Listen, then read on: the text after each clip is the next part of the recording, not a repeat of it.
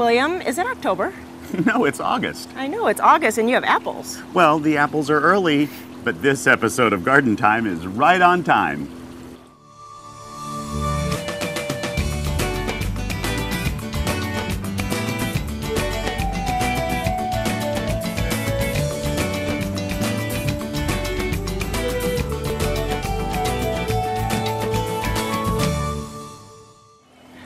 Welcome to Garden Time. Now, normally we celebrate apples in October at the Apple Fest at Portland Nursery. However, this year a lot of things are early and they have a couple varieties for sale right now at the Stark Street location.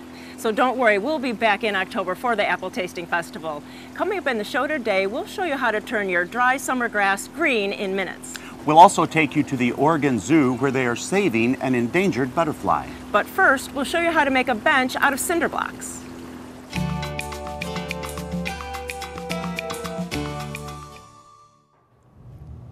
So I'm standing here with Amber and we are at Parr Lumber in Albany. And Amber, I really like that you have this great idea for a very inexpensive and fast bench for the garden. So just ju let's jump right in. Tell me how you're doing it. All right, so um, we've already pre-painted the blocks, uh, just an exterior gloss paint. I got this at a Habitat Restore. Um, any exterior paint will work, uh, or you can just leave them raw Leave them if raw, you okay. want. And then let's just start building while we talk about this. Now I see a, a total of 12. The bottom three you've stood up and spaced pretty evenly, it looks like. Yes, just depending on what size bench you want. So we could make this really any size you want. You could make chairs, you could do um, tables, really. I mean, it's it's literally building blocks. So whatever it's, you it's want like to do. Legos, huh? Except don't do what we just did. Which is, oh, we did, we did do that. That's true. So this is kind of a critical part. we have to have something to pour our boards through. So All right, and then the boards are what? the boards are just we use four by fours. Honestly, you could probably use any kind of board that you wanted, and I'll feed them right through if you want to just grab them on the other side. Okay. I, I, I was caught off guard on that one. So you put that one there. And you got a four of these total? Yes. And again, whatever you want to do as far as how your bench is going to be built, how deep you want it, um, or how shallow, just you could be putting plants on these and not actually making it into a bench. Well, I'm wondering though, if you put this up, does it have to be against the wall? Because it seems like these back ones might flop over when you lean on them. Doing a bench like this, before you have anyone sit on it, I would obviously recommend that you adhere it to each other somehow. Um, or probably up against a wall would be a good choice also. um, there are some products that are made for adhering concrete to concrete. And once this stuff sets up, I mean, this isn't going to go anywhere. So if you really want this, once you get it up and you like it, if you want it to stay there, then do that and it'll make it sturdy. Absolutely. Just kind of take it apart again, glue it back together. Once you know it's where you want it and how big you want it and Yeah. the look you want. Well, Amber, I see on this one, there's some Velcro, and I'm assuming this is the last piece to put in. And tell me why this is here. This is the last piece. So in this bench, we're going to put a, a back pad on it. oh, wow. And to stop the back pad from sliding Sliding down, okay, that. And We've then, applied some Velcro to this one. You could probably staple it on, honestly, if you wanted to. So we're just going to stick our back pad Oh, on so there. it just, it kind of just contains it. For the bottom there. And then there's even, we're even going to get really fancy here and Oh, use some, uh, some fancy pillows. Look at that. Yeah, so There and you go. then we've also got just little caps. You can honestly decorate this however you want. You could make longer armrests, you could have them stick out. The possibilities are endless. So shall we give it a chance and, and take a seat here and see? Just Wow. be careful, it's not glued together. That's right, it's not glued. Oh, that's very comfortable actually. Yeah. So, you know, if you're thinking to yourself, I want to buy a bench, I don't want to spend two or three hundred dollars, go down to Parr Lumber, you can pick up all of these pieces and build a bench that suits your garden just fine. Thank you so much, Amber. Thank you.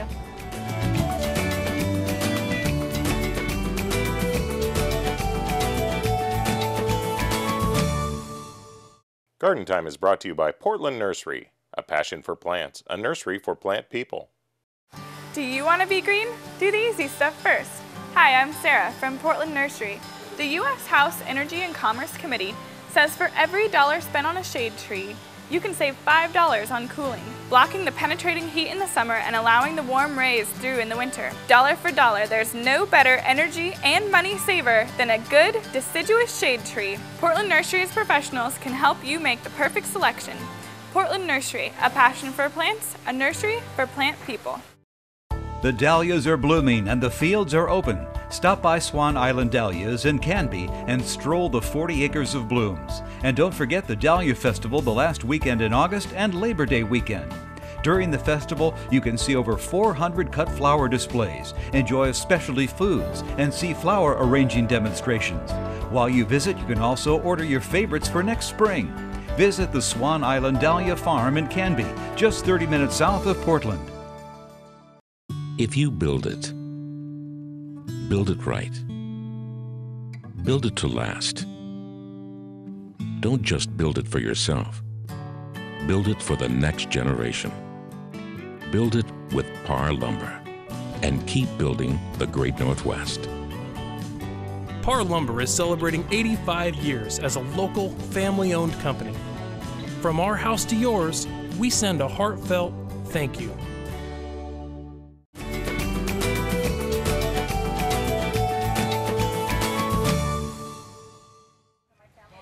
Always fun to come out to Seabright Gardens and talk to Thomas about hostas. And Thomas, it's really one part of your business. You do lots of other things here, but we have some hostas that really do well in the summer. So why are these so special for summer? Uh, well, these varieties here that we've picked out are ones that are really more of the sun tolerant varieties.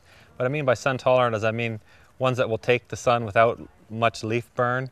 Uh, they really prefer the shade, but the sun, these ones will take the sun if you want to push that and do we have bit. to water them a lot more or do Uh, something they- else? If they're in the sun, they want to make sure that the ground is moist all the time and maybe have good mulch Ah. around them to help keep the soil moist and the roots a little bit cooler. okay. Uh, this is so unique. What is this yeah, one? this is praying hands. This one here is really, Wow. really sun tolerant. I've grown this one in full sun for quite a few years and it doesn't have any leaf damage. And it looks wonderful in the container. It has these really narrow profiled leaves with the uh, leaf margins. really thick substance too. really so thick really substance. Basically, no slug, um, no slug Huh, likes it either. that's so wonderful. which is really another plus. And then we have uh, another variety in the front here called stained glass. Pretty. Really pretty. Uh, it's one that gets more pretty as the season progresses. The center gets brighter and brighter. Has these wonderful fragrant flowers, great big, and they're very sweetly scented. And it, if the leaves damage on that one at all from, from summer burn, like you, you can see there's a leaf on the side here, you can take these leaves off because this is one of the varieties that will continue to generate new leaves throughout the summer. So if you've got leaf damage from sunburn or from slug damage, you can remove the leaves on this one and it'll continue to generate new leaves. Ah, because not all hostas do that, so right. that's really interesting. Yeah. And then we've got another one that's a fairly new variety on the market called uh, Cathedral Windows, which is a, another one that's real fragrant uh, flowers and these wonderful big thick leaves. They're huge. And it, it also will regenerate the new leaves throughout the year and is very sun tolerant. Uh, you know, that's something nice to have because sometimes we don't have shade in our gardens, but we want hostas. So Uh-huh. it's nice to know that there are some, but just a little bit of different care. Exactly, and there's always those spaces where you don't know whether it's too shady for some things, and too, and this, these ones will do that transition spot between sun and shade. Uh, and you do have something going on very special today at Seabright Gardens. So what's going on? Yeah, we have a plant sale going on with it's called the Cascade Nursery Trail Group, and there's a group of us seven vendors will be here uh, selling plants. Uh, the groups I have to look at my list here because I don't want to forget anybody. A Garden Time Nursery will be here from Silverton, Highland Heather, uh, Nolan's Bridge Perennials, Out in the Garden Nursery, Secret Garden Growers, and Wild Ginger Farm. And we'll also have food uh, by Country Chick Creations and wine tasting from Honeywood Winery. So it's going to be a busy day. Uh, well, it's really worth coming out to um, Seabright Gardens and to see the beautiful gardens here, pick up some plants for your own garden, and just hang out with all these great plant people. It's really going to be a day. You have a great day set, set up here. Have fun. Yeah, and the display gardens look really good right now too. So, they sure yeah. do. Thanks. Thank you.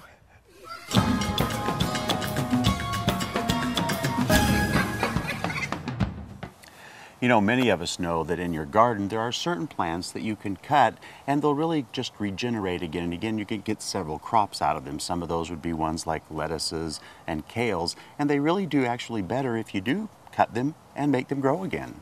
And you know, we did a fun project that you could do at home with your kids. So you take your celery stalks and you cut off all the celery, but at the bottom where the roots would be, you kind of replant that, and then in a few days, it actually begins to grow again. It's really something to see and something as a learning tool about vegetables. And another great way to get kids interested in how to grow vegetables and where our food comes from is a lot of us love avocados. So after you cut it and take it out, you'll get this little thing here called the pit and then it's a really simple process. It's pretty clear to see where the bottom is. It's usually a very large round circle.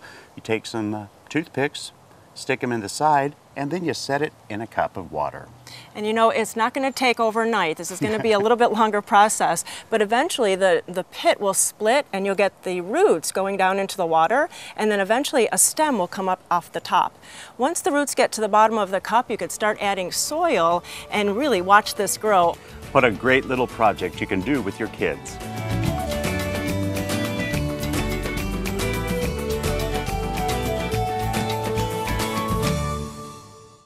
Garden Time is brought to you by Capital Subaru, your way on the Parkway.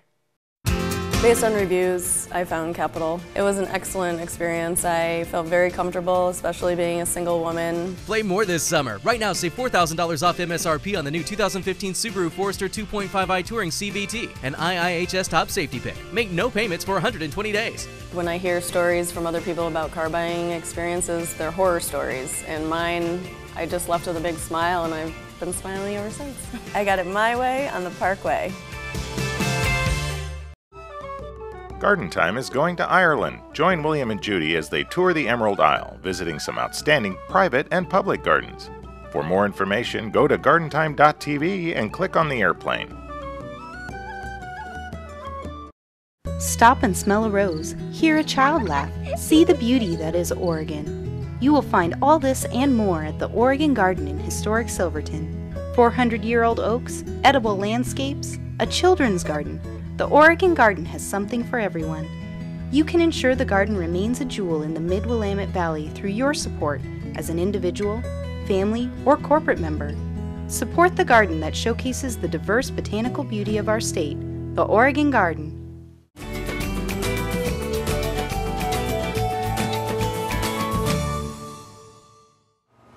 It's been a very dry and very hot summer, and we are really concerned about our, the way our lawns look. I'm at Al's Garden Center in Sherwood with Aaron, and Aaron, you really have a quick and easy solution for our lawns. Right, uh, believe it or not, lawn paint.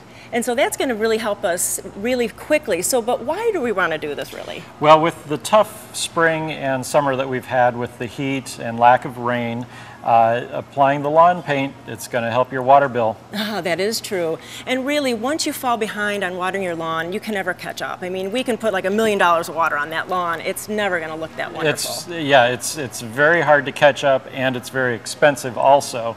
Uh, you'll, you'll feel that at the end of the month when you see your water bill. Aaron, so it's a lawn paint, I understand that, but what exactly is it? So it's natural lawn pigments uh, that you can apply, so it's totally safe for pets and kids.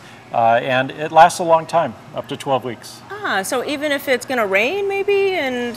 It'll wash off a little bit depending on how heavy the rain is, okay. but um, normally uh, during dry conditions, it's going to last 12 weeks. Oh, wow. You know, that is really going to solve a lot of problems for mm-hmm. people. Mm -hmm. And so is it pretty easy to apply? It is very easy to apply. You take the concentrate, mix it into a tank sprayer, uh, a one gallon tank sprayer, two gallon, depending on uh, how much you need to mix and uh, give it a good shake to mix up the paint and uh, outside you go. All right, well let's go out. Okay, sounds right. good.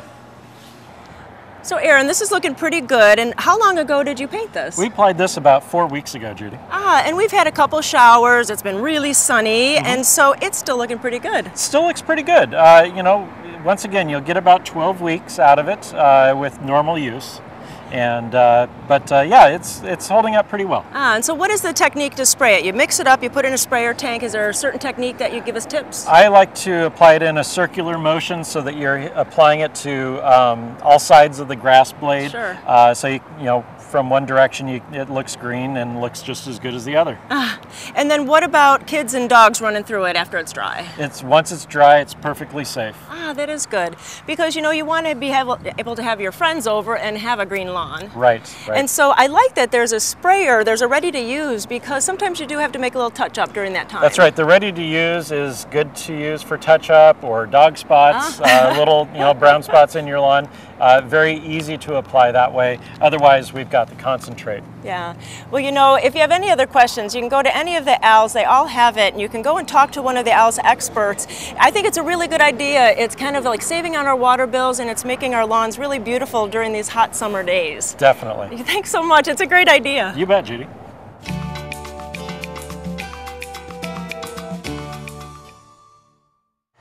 So you may remember back at Garden Palooza this spring, there were several things that we were doing as giveaways, and I'm here with the winners of the Black Gold giveaway. And Donna, you you brought the check to give to them, I haven't brought, you? I brought the check. I'm happy to announce uh, the Build a Better Garden contest was won by uh, Jeanette and her husband Nick. And there is your $500. And just to remind everybody, next time at Garden Palooza, be sure and sign up for our newsletter and be a winner. Yeah, so now you are the winners now, and this is your husband Nick and you are Jeanette, right? yes. And so, what are your plans? Like, what what hopes do you have? Because you get to go to Portland Nursery as well, I don't you? know, For I'm so excited about that. I have, I've always dreamed of having an English cottage garden, and we got totally fried over the summer, just like everybody else. Yeah. But so I'm looking forward to replacing everything and having a beautiful. It's a perfect opportunity, and probably Nick, a great place so that the uh, gophers and moles really don't have a place to go anymore, right? That's true. That's true. well, we, we know that you'll be there in a few weeks, and in, after they get to the Portland Nursery and get their help, we're going to catch up with them there and see what they're really going to do in this space. Now, for more information on the wonderful products of Black Gold, you can always go to gardentime.tv. We'll click you over to their website. Thank you all so much. Thank you. Thank you very much.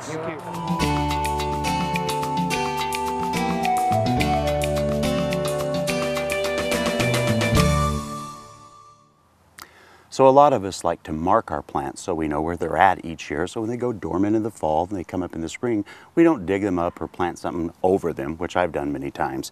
Now you can certainly get a lot of signs and do that and mark them up, but we found a more natural way. All you do is you find rocks, which most of us have in our garden. You take a permanent marker, you put the name of it on it, and then just flip it over, put it right by the plant. That way, as the plant lies or dies down, it'll just look like a rock in the garden. So putting names on your plants so you know where they're at, that's our tip of the week.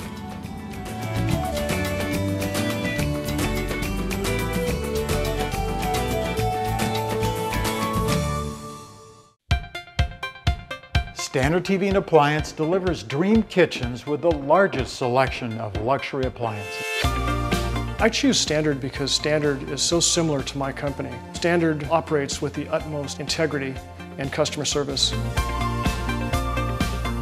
From start to finish, the sales to the installation to the service, it's really the complete package. Setting the standard since 1947, Standard TV and Appliance. The dahlias are blooming and the fields are open. Stop by Swan Island Dahlias in Canby and stroll the 40 acres of blooms. And don't forget the Dahlia Festival the last weekend in August and Labor Day weekend.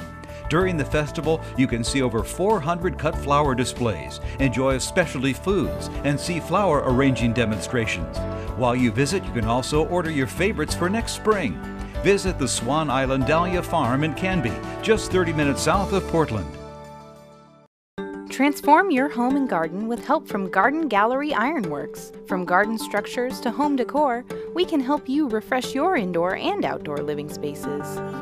Decor that is exquisite and unique. Garden Gallery Ironworks makes your home and garden attractive, appealing, and a relaxing place to stay. Inspired designs that are locally made. Garden Gallery Ironworks, located in the Hubbard Industrial Park off 99E. Look for the amazing petunia tree.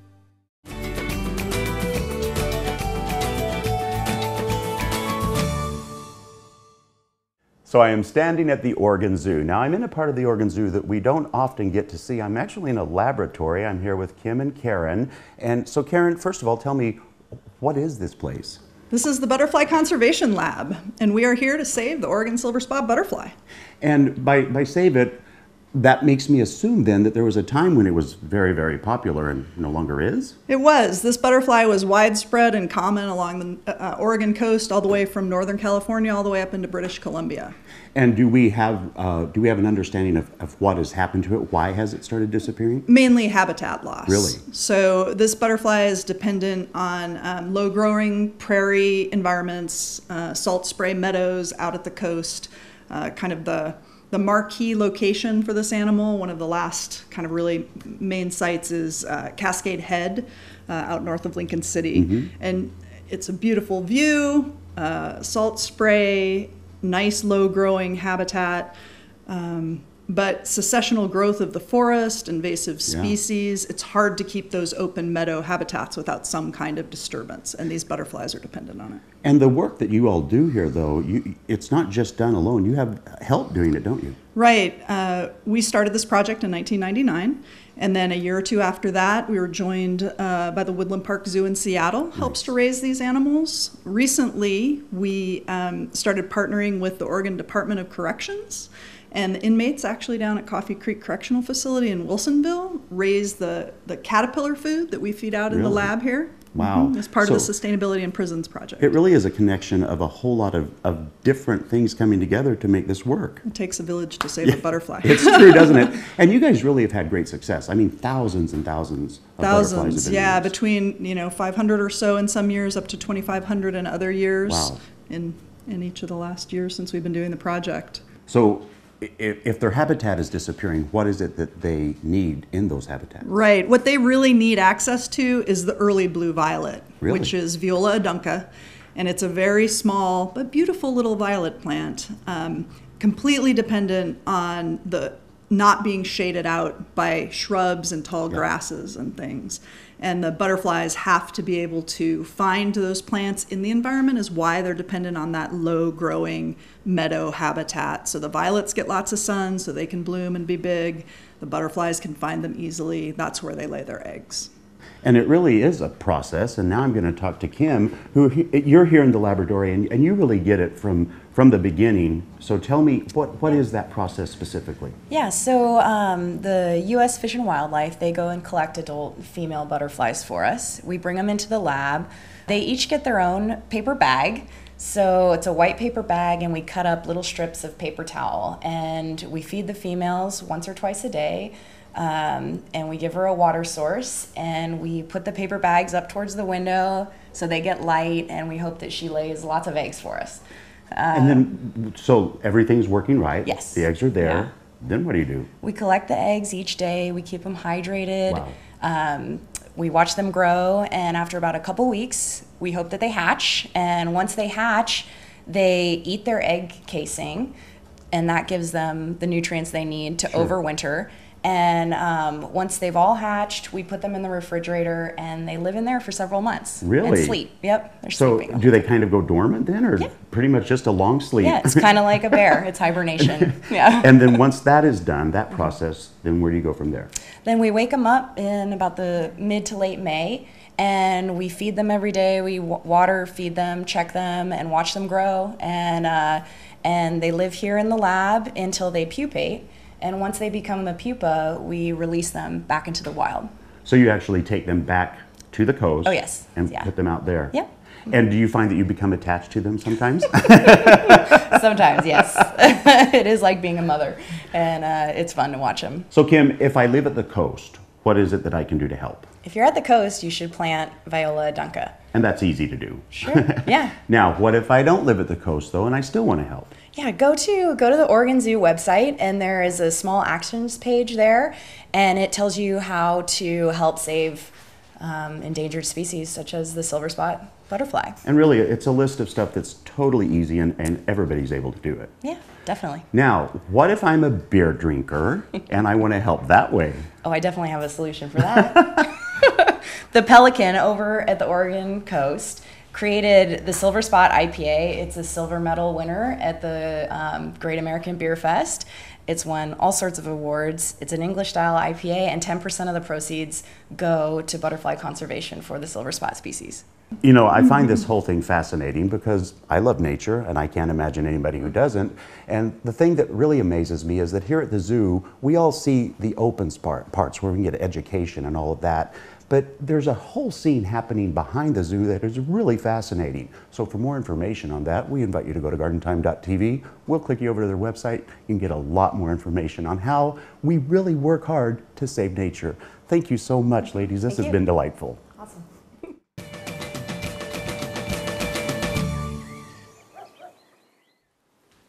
I'm at the Street of Dreams this morning at the Atterbury House, and I'm with Brianne from Dewils Custom Cabinets. Hello, thank you. Hello. So this is really a beautiful kitchen, but before we talk about these cabinets, please tell us a little bit about your company, Cool History. Yeah, my grandfather started it back in 1959 in his garage over in Vancouver, Washington, and uh, we've, I'm the third generation now, so trying to keep it in the family. Ah, and you know, there are also an international company too, so you are, this is your home base, you actually manufacture in Vancouver. Yes, we do, over in Vancouver, Washington. Ah. Everything's over there. Uh, so tell us a little bit about the cabinet because they are, um, this finish just looks like furniture to me. It is. So we actually, this is a paint with glaze finish. We pride ourselves on our glaze finishing. Mhm. Um, it's hand done, so it's a true furniture glaze. So it goes entirely over the cabinet. Makes it very durable as Mhm. well. But you're going to get that true furniture look that goes in versus just a highlighting that a lot of people will do. Uh, and the inside just looks as pretty as the outside. It's really nice wood too. Yes, absolutely. We have a standard plywood box construction with a three quarter inch plywood shelf. The importance of this is it's thick, so you're not going to get the bowing in the middle when you have heavy glassware on there. Also, you're not going to get the bubbling up if you put wet glasses in there. It's going to stay this looking this good for a lifetime. And the cabinets are beautiful, but also the drawers are cool too.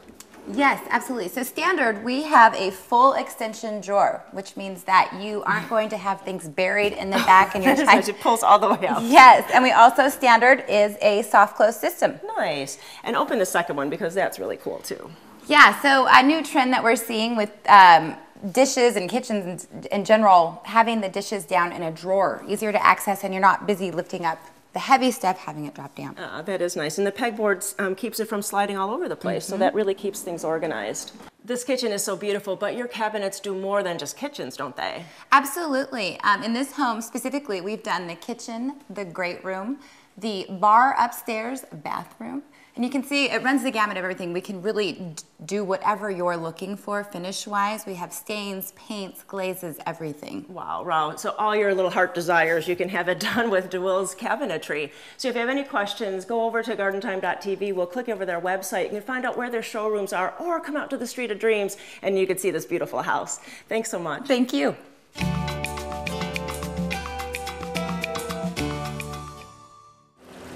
Thanks so much for spending time with us today. Now remember to go out and visit our sponsors and friends at the Street of Dreams, which is happening through the end of August. And don't forget to take a drive over to Portland Nursery on Stark Street and pick up some early season apples.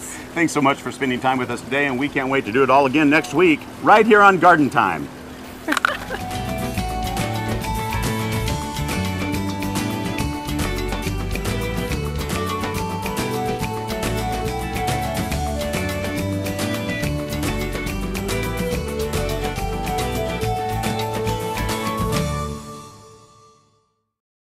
Stop and smell a rose, hear a child laugh, see the beauty that is Oregon. You will find all this and more at the Oregon Garden in historic Silverton. 400 year old oaks, edible landscapes, a children's garden. The Oregon Garden has something for everyone. You can ensure the garden remains a jewel in the Mid Willamette Valley through your support as an individual, family, or corporate member.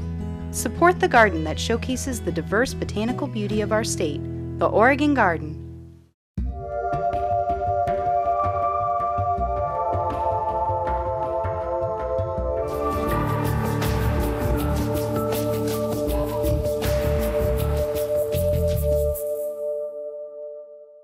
The proceeding was a paid program of the Gustin Creative Group and its sponsors.